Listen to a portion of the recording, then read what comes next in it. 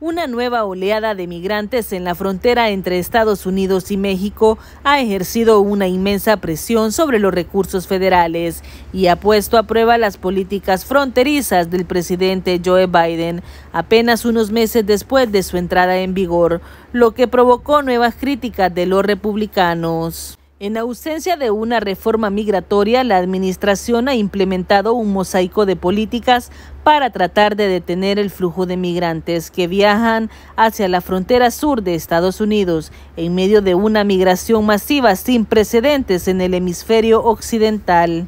El Departamento de Seguridad Nacional ha aumentado la capacidad de las instalaciones fronterizas para dar cabida al creciente número de inmigrantes, mayormente venezolanos, y ha seguido realizando vuelos de deportación de migrantes considerándolos no elegibles para permanecer en Estados Unidos. Los funcionarios estadounidenses también están coordinando con México para intentar detener los cruces. A su vez, se encuentran coordinando con las autoridades centroamericanas para evitar el flujo migratorio. Tal es el caso de la reunión que sucederá con Alejandro Mayorca, secretario de Seguridad Nacional, para reunirse con la presidenta Xiomara Castro de Honduras en McAllen, Texas.